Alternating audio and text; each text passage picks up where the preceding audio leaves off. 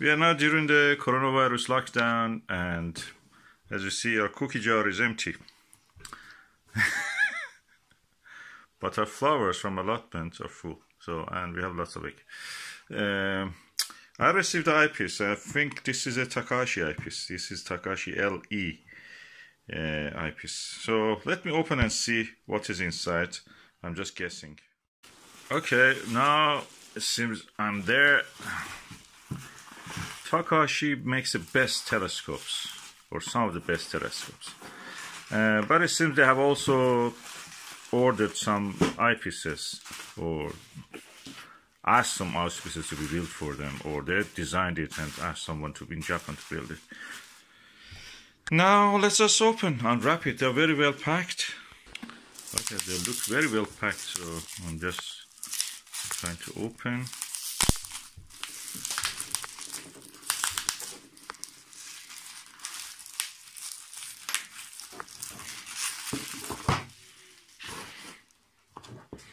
This is the first side piece.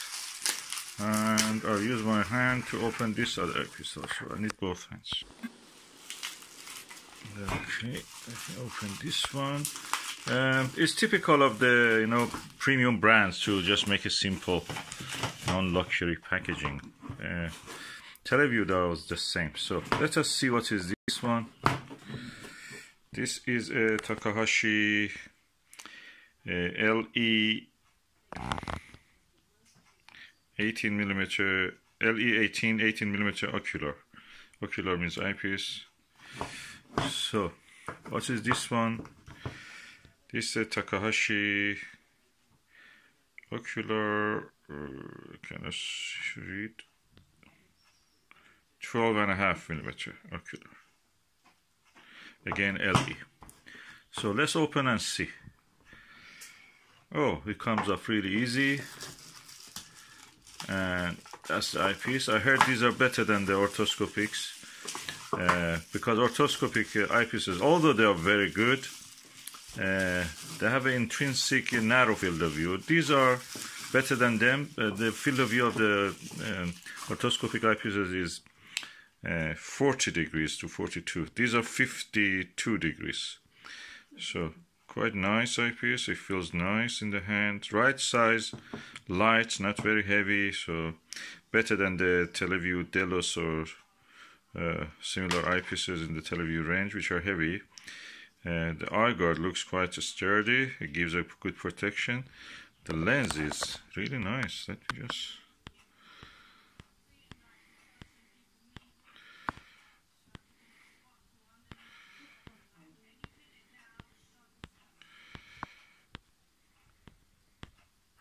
Okay, let me remove the bottom one.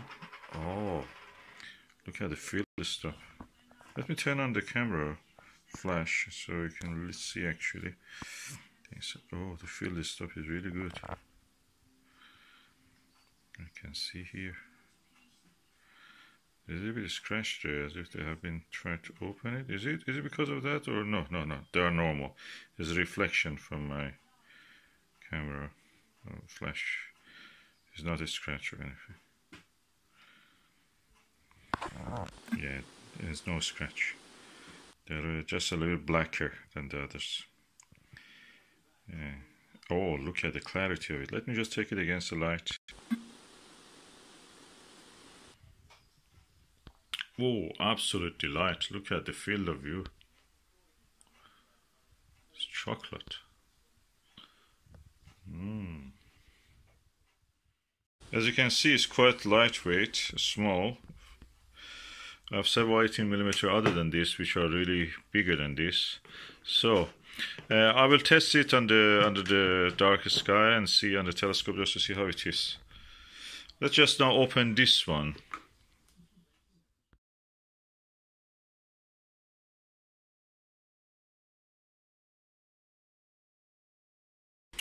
Okay, I'm observing the star 30 uh, low Minoris which forms an um, asterism similar to a cart with several stars around it.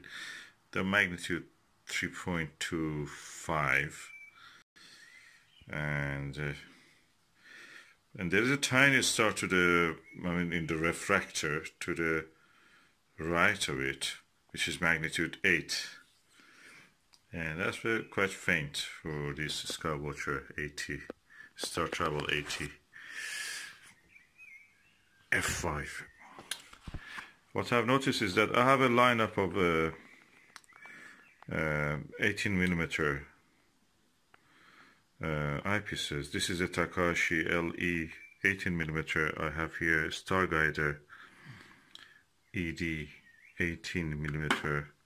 I have the Baader Classic Ortho 18 millimeter, and this is Orion Expanse 20 millimeter, 66 degrees. Of course, these are not 80. This one is 30 millimeter Celestron Ultima series fully multi-coated. And I have here also a Televue 40 millimeter plus. So, uh, in all of these 18 millimeter ones, uh, that is 20 millimeter. I notice Takahashi and uh, the classic Ortho are the best. This Starguider, although is good, but uh, around 40% to the edge of the field stop, you can actually see astigmatism.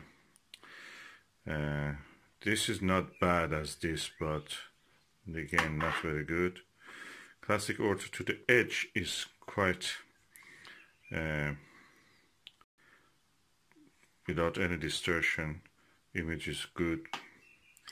But Takahashi LE is as good as ortho, but eye relief is better, and I can see that 8 magnitude star all the time with this. It's quite bright actually with this when you look at it. Um, so I have a line up here, and you can see that. I may try to find another 18 millimeter and see how that will look with this.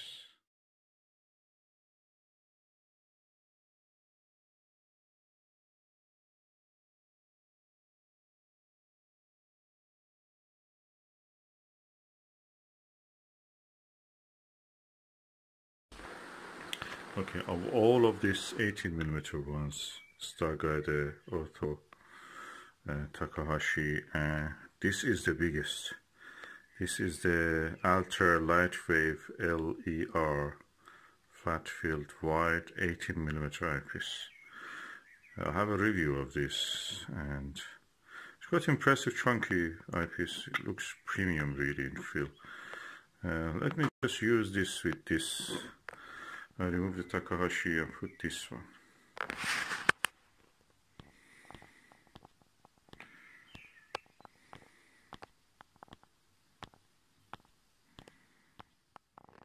Okay, I have now used this Altair uh, Lightwave uh, flat field LER 18 millimeter eyepiece.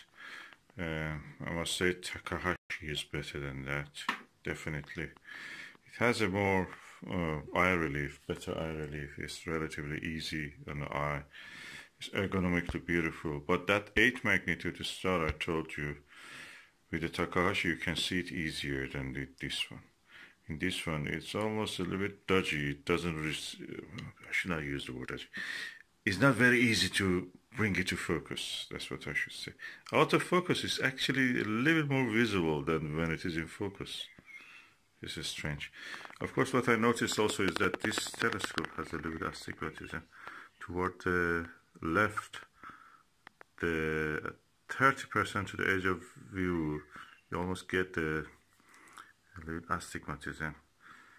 But funny enough, you all of this show a little bit of that, except the Takahashi and uh, Ortho, and this one also, Televue 40 millimeter plus. So really impressive so I have a good lineup and now I can say which one actually is the best in my opinion now Takahashi is the top very close with the uh, classic Baader classic Ortho then comes this and this this is the least favorable Starguider 20 millimeter not bad, it's just very generic. This is good. This is perfect. uh, I don't know. I'm a little bit upset by Televue. It produces the best eyepieces, but the price is really high. But I've not never seen any fault with this Plössl. So beautiful, 30 uh, low minor minoris star asterism. Observing and comparing this for 18 millimeter eyepiece. Yeah, from all of these eyepieces, the Takahashi and the Baader are lightest. Takahashi really has a good eye relief, beautiful view. Uh, I like the look of this uh, better than this, but probably not any of them. Uh, I'll, I will go for this ones.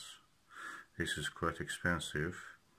This is quite affordable so I may just go for this if I wanted to buy it first time but that one is really good. Or get a Televue Plössl if you can find it. So what I want to say is that if you don't choose your eyepieces correctly and by correctly I don't mean expensive eyepieces some of the Chinese eyepieces are the best I've seen cheapest and cheerful. In this range that I have uh, if I didn't see this one or the Baader Ortho, I will miss that. I would have missed that 8 magnitude star. You would not know that that star exists. Even in the sharpest focus you achieve with this or this or this, you will not see that 8 magnitude star. That's, that's fact. Of course, having said that, uh, this was with this telescope in this weather and sky condition my eye of course. As they say your mileage maybe is different so um, make your own choices